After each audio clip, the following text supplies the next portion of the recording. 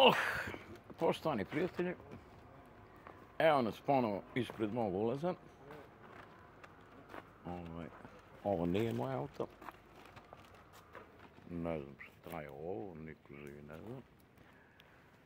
Kao što vidite, potop je prošao, međutim, posljedice od potopa u ovu naprednu Srbiju još nisu prošle.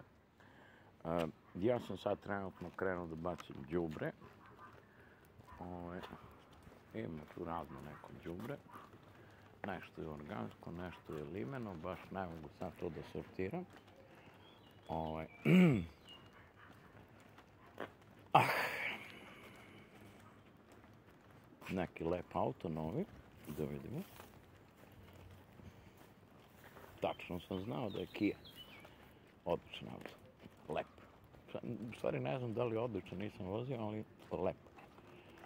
Ovo je Citroen C3, jedan od najboljih automobila u istoriji sveta. Ovo je nije moj. Ovo je moj tamo negdje parkiram pozadi. Ja obično dođem kući noću oko 3, 4, neki put i kasnije. I ovaj, šta da kažem, obično to vreme mesta na parkingu ovde nema. Ovo ovde vidite, ovo je prozor, istoreno odelenje. to je moja kancelarija. Evo vidite, ovo je moj auto, Citroen.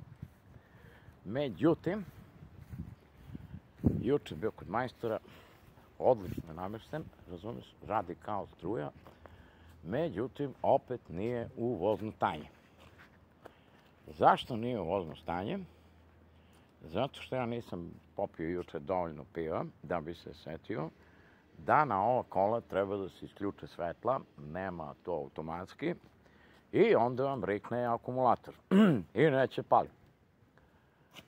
I šta da kažem, ovaj, to nameštanje košta 2000 dinara, a nov akumulator košta, bog sveći zna koliko.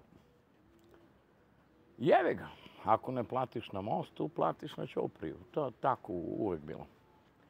Vreme da idemo u kafanu.